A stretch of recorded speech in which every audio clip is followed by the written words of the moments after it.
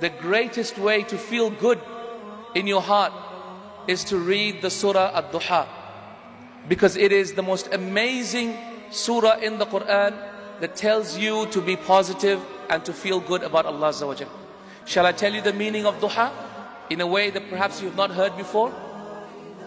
Surah Duha was revealed at a time when the Prophet sallallahu alaihi wasallam did not receive the revelation from Allah subhanahu wa ta'ala for six months. For six months, the Prophet did not receive any revelation from Allah. Jibreel didn't come down, he didn't see a dream. You know, there was a time when I used to see a lot of good dreams. And then these days, when I'm busy with Mercy Mission, I'm so tired, my brain is so tired, I actually don't see dreams.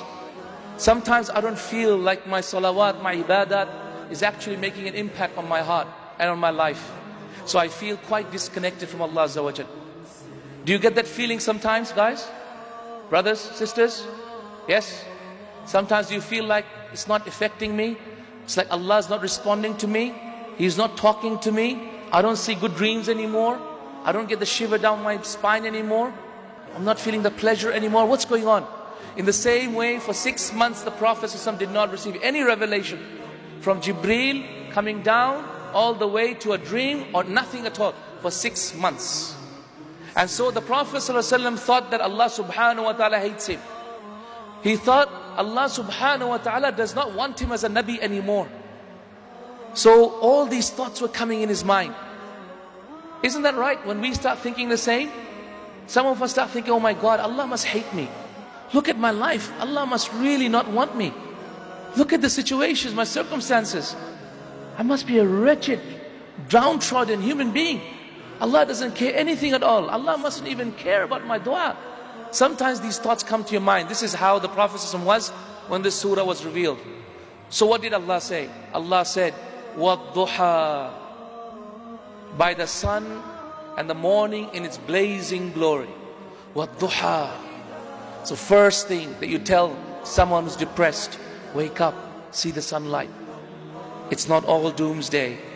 It's not all doom and gloom. There's a beautiful sun out there, beautiful light. وَالضُّحَى وَاللَّيْلِ إِذَا سَجَى And by the night as it envelops. The second problem with people who are depressed is they stay up the nights. They go to sleep in the morning, they stay up at nights. So everything is doomy and gloomy. They have a bad sleep-wake pattern. وَاللَّيْلِ إِذَا سَجَى And by the night as it gives comfort. Ma wadda'aka rabbuka wa ma qala. Allah does not hate you, O Muhammad. Allah doesn't hate us. Allah doesn't hate you, Muhammad, nor has He forgotten you. In the same way, Ya Abdullah, Ya Amatallah, Allah doesn't hate you. And Allah has not forgotten you. Ma wadda'aka rabbuka wa ma qala. وَلَلْآخِرَةُ خَيْرٌ لَكَ مِنَ الْأُولَى And indeed, the hereafter will be far better for you than this dunya what is coming is going to be far better for you than what situation you're in now. وَلَلْآخِرَةُ خَيْرٌ لَكَ مِنَ الْأُولَى وَلَسَوْفَ يُعْطِيكَ رَبُّكَ فَتَرْضَى And very soon, Allah will give you a massive reward and He will make you happy.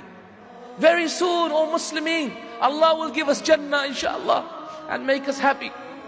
Very soon, Allah will give us a victory from all of this and make us happy. Very soon, وَلَسَوْفَ يُعْطِيكَ رَبُّكَ Allah has promised this and of surety very soon, very soon we'll go to Jannah inshallah. Very soon. Isn't this the most beautiful thing to say to a person who feels bad in his heart? Then Allah gives him reasons to believe this. What does he say? Alam yajidka yatiman fa'awa. He gives people reasoning so that you believe this. He says, Alam yajidka yatiman. Did he not find you an orphan and look after you? Ask yourself, weren't you very sick sometimes? Weren't you a little boy and Allah looked after you? Weren't you a little girl, no one to care for you? And Allah looked after you? أَلَمْ يَجِدْكَ يَتِيمًا فَآوَى وَوَجَدَكَ ضَالًّا فَهَدَى And we found you misguided, didn't we guide you?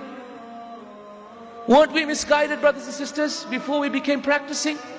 I know I never used to pray myself. I never knew about my deen. Didn't Allah find me misguided and guide me? In the same way, weren't you misguided and Allah guide you?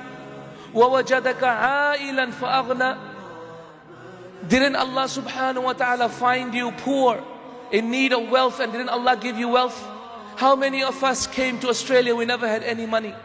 How many of us, but Allah, Allah subhanahu wa ta'ala had mercy on us, pity on us, and He made us wealthy?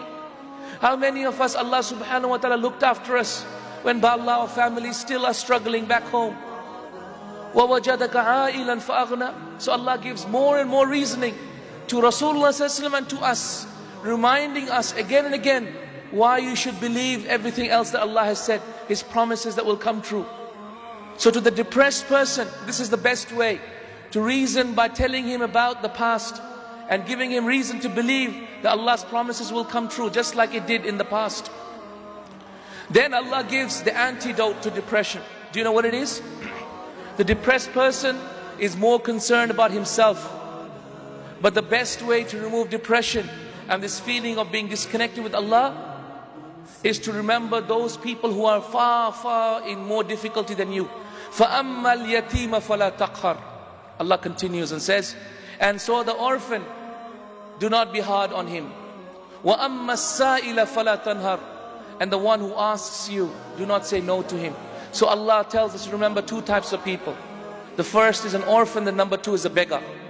Remember the orphans, they have no one to look after. You have parents to look after you. You have family to look after you, somewhere to go home. The orphans have nobody. وَأَمَّا السَّائِلِ The beggar, he has no food. He's asking you for food. He goes to sleep hungry every day. Allah has given you food. How many of us has ever gone to sleep hungry, subhanAllah? So Allah tells us the antidote, which is to look at people below us. فَأَمَّا الْيَتِيمَ فَلَا تَقْهَرْ وَأَمَّا السَّائِلَ فَلَا تَنْهَرْ And then the final way to remove this feeling of being disconnected from Allah, do you know what? وَأَمَّا بِنِعْمَةِ رَبِّكَ فَحَدِّثْ and the blessings of your Lord enumerate. Talk about the blessings of Allah. Alhamdulillah for my eyes. Alhamdulillah for my hands. Alhamdulillah for my mouth. Alhamdulillah for my heart. If Allah didn't love us, why is He still keeping us alive? If Allah didn't like us, why is He giving us sustenance for every minute that we are alive? If Allah didn't love us, why are we here today? Sharing this knowledge, increasing in wisdom and love of Allah. My brothers, my sisters in Islam, next time you feel disconnected, read Surah Duha. And by Allah, you will feel the same love that the Prophet ﷺ received from Allah Azza That Allah subhanahu wa ta'ala will of a surety bless him and of a surety bless us inshaAllah. Very soon, very soon Allah's promise will come true. My brothers in Islam, it is for this reason why Sufyan al-Thawri says that amazing statement. He said, Wallahi, I would not replace Allah with my parents to be the judge on the day of judgment. I would rather have Allah judge me rather than my parents on the day of judgment because I know Allah loves me more than my parents. Ya salam. If you believe Allah loves you more than your parents, Allah will love you more than your parents. If you believe Allah can forgive all your sins, Allah will forgive all your sins. If you believe Allah will reward you and enter you into Jannah, Allah will not betray your, your, your faith in Him. Allah will, inshallah, answer your dua and enter you into Jannah bi'idhnillah, inshallah ta'ala.